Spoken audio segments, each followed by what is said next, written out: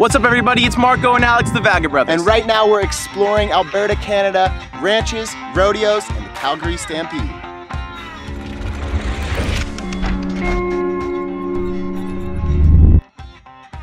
Alberta is where the plains meet the Rockies, and Calgary is like a cross between Dallas and Denver, where the ranches meet the mountains. Cowboy culture is alive and well in Alberta. And since 1912, it's hosted the Calgary Stampede, a 10 day Western festival dubbed the greatest outdoor show on earth. For two California Beach Boys, it was literally our first rodeo. So, to avoid being trampled by the stampede, we saddled up and headed to the range for Cowboy Crash Course. Oh shit! You're breathing a little hard, buddy. Oh, that was hard. Nobody said being a cowboy was easy.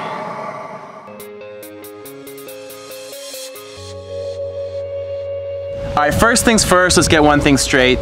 We are not cowboys, we are city slickers. And before we go to the Calgary Stampede, we're gonna need to learn a couple of things about the ranching life. That's why we've come here to Sierra West Ranch, where Jim and Randy are gonna show us Cowboy 101. So we're gonna get you on some horses and show you how to ride, and then we're going to teach you how to rope, and then you're into the corral with the longhorn calves.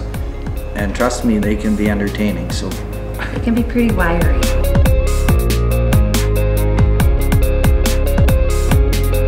As you might notice, I don't often do this to myself, so it's a pretty good experience for me, learning how to brush. Yeah, But you, Alex, with your upkeep. with your metrosexual vanity, you should be pretty good at this. Metrosexual vanity. We'll see who the real man is after we have our cowboy games. I guarantee you I'll kick your ass, Mark. Yep. There's one thing Alex does know how to do, it's talk a tall tale. But he is certainly no cowboy, and I'm not gonna let him start acting like one. The horse is my natural partner in life, and Alex is gonna find very soon that Marko is King Cowboy. Well, the time has come for the showdown at the OK Corral, mister. Since when are you talking like Matthew McConaughey? I've always kind of wanted to talk like Matthew McConaughey. Who does it? All right, anyways, so we've learned to rope, and now we're gonna put it to test by actually roping a calf. Cowboys rope cattle for a number of reasons, from giving them vaccinations to branding them for identification before releasing them to pasture. And as shocking as it was for us, we realized that this brief moment of discomfort allows for a lifetime of free grazing on the open range. Nobody said being a cowboy was easy.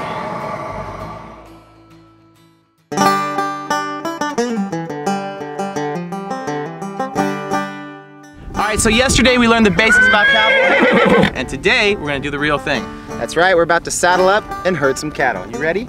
I think about ready as I'll ever be. Let's go. Boom.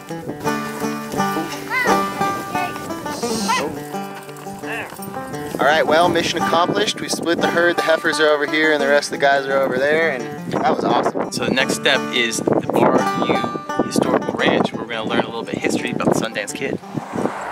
We headed north on Highway 22, known as the Cowboy Trail, to Bar U Ranch, which was one of the biggest ranches in Canada, with over 30,000 head of cattle and a ranch hand soon to be known as the Sundance Kid. Bar U was instrumental in settling the West, building an empire that exported beef to England and allowed its owner, George Lane, to help finance the first Calgary Stampede in 1912. So, armed with a bit more perspective, we made our way to Calgary. Well, over the last few days, we've explored Alberta's Cowboy Trail and we've learned a little bit of how to be a cowboy. We've done all we can to prepare. At this point, it's all about looking the part if we can't really be cowboys. So we're at Lammle's. We're gonna get outfitted. It's uh, got it's like a cowboy haberdashery. We can get some new clothes. Hats, boots, belt buckles. If we can't be cowboys, at least we can fake it. Courtney here has told me everything I know about style is wrong. She's gonna help me look like a halfway presentable cowboy. Thank you. This is so far from my normal routine of board shorts and sandals. Here you go, bro. Got your hat. Oh no, but I do think I found my shirt. And your hat. My pants. I got the buckle. Look at this. Calgary Stampede. Properly suited and booted, it was time to hit the Stampede. The Stampede is the biggest event of the year. 10 days of Broncos, babes, and beers that draws 1 million people annually. And they come for a reason.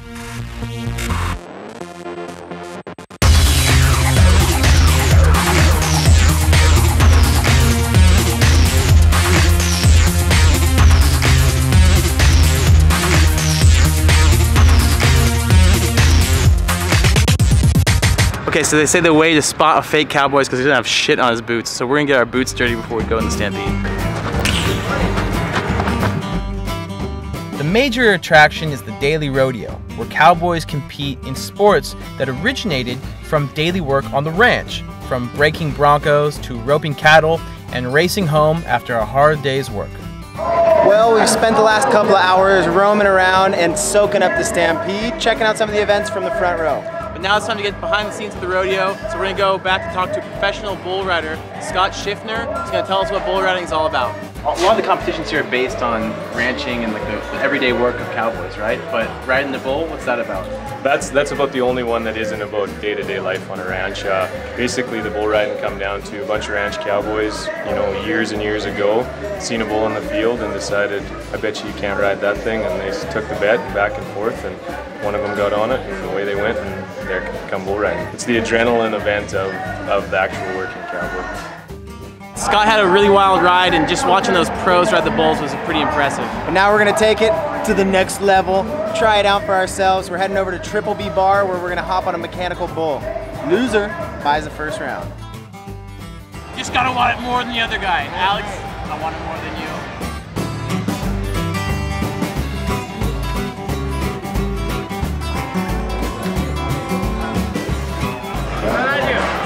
You did fucking good. Way better than I thought you would. Pressure's on.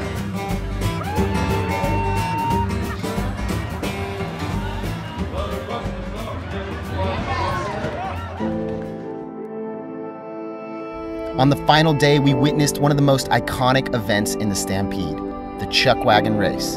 To get a better sense of the sport, we headed to the stables to meet driver Rick Fraser. You don't think about your competitors, you concentrate on your horses, especially your lead team. You don't hear the crowd, you don't hear the announcer.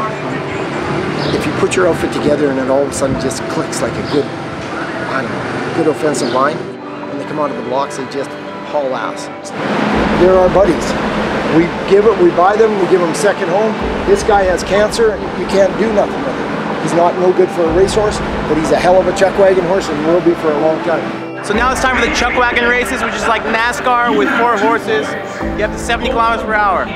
First, a little bit of brisket.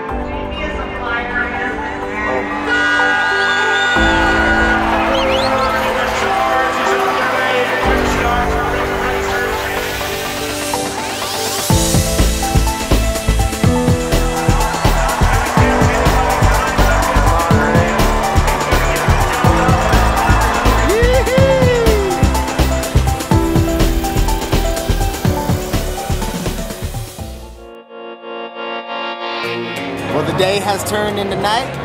and it's time to learn how to line dance. The only problem with this is that Alex has recently alerted me that I actually look like Woody from Toy Story. Pretty much verbatim, you're on, bro. But I think that Alex's dance moves are more like a wooden toy than mine. I think I'm gonna be able to show him how, how it's done. To infinity and beyond! Buzz Lightyear. So we're gonna go to Nashville North, which is like this music tent here at the Stampede. There should be some singing, some dancing, and hopefully some hot cowgirls. We are taking a video. Say hi. Oh look, we just found a hot cowgirl. All right, guys, hope you enjoyed that video about Alberta's ranch culture and the Calgary Stampede. Big thanks to Travel Alberta for making the whole video possible. If you want more information about the places that we visited, check out the links in the info box below. As always, if you enjoyed the video, make sure you give it a thumbs up, share it with your friends, and subscribe to Vagabrothers Brothers for new travel videos every Tuesday. In the meantime, stay curious, keep exploring, and we'll see you guys on the road. Peace. Still watching? Don't worry, there's more Vagabrothers Brothers to come. Check out the video on the left. That's about Prince Albert National Park in Saskatchewan, Canada, some beautiful nature. Or on the right, there's a video about Ottawa, Canada's cool capital. It's about the trendy food and drink scene that's sprung up in the city. If you want more videos every week, make sure you click subscribe and find us on social media Facebook, Twitter, Instagram, Snapchat, all that jazz at Vagabrothers. Okay, guys, see you next week.